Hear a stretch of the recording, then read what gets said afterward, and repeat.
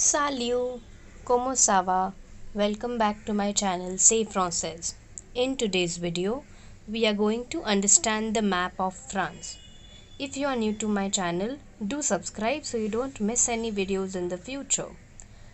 Let's begin. So, we are going to learn about the neighboring countries, water bodies and the mountain ranges in France in this video. The France as a country is also known as l'Hexagone. Why? Because of its shape as you can see the map of France. This is where La France is situated in the world map. This is where you will find France in the map of Europe. And quelle est la capitale de la France? Paris. Paris. So, Paris is the capital of France. Let's look at the neighboring countries of France, les pays voisins. Towards the northwest, you have United Kingdom, le Royaume Uni. Towards southwest, you have Spain, l'Espagne. Towards the north of France, you have La Belgique, which is Belgium. Towards the northeast, you have L'Allemagne, which is Germany. And nestled between these two countries of Belgium and Germany, you have a small country called as Le Luxembourg, which is Luxembourg. Towards the east of France, you have La Suisse,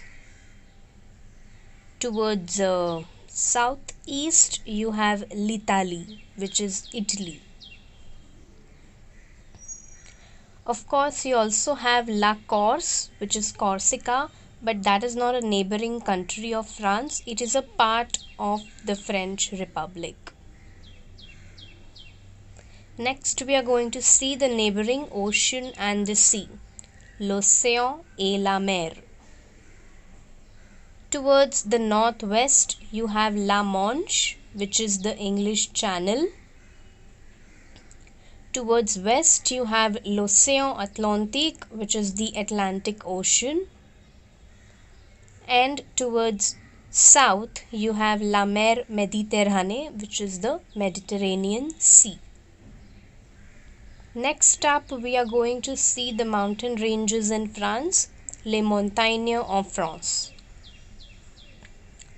just at the boundary with Spain you have the Pyrenees which is called as Les Pyrénées in French. Next up you have Les Alpes the Alps which which mountain these mountain ranges are with the border of countries of Italy and Switzerland Next you have Le Jura which is the Jura just above the Alps. You also have Le Massif Central, the Massive Central, which is in the center of the country of France. Lastly, we are going to look at the rivers of France, les fleuves. The longest river in France is known as La Loire. The river that crosses through the city of Paris is La Seine. Of course, we also have other rivers apart from La Loire and La Seine. So you have Le Rhône, La Garonne. Do follow me on my Instagram account at the rate Say Française. Thank you so much for watching this video. If this helped you in any way, hit the like button and once again don't forget to subscribe to my channel because I am going to post more such videos related to French culture and the French grammar. Au revoir. Bye.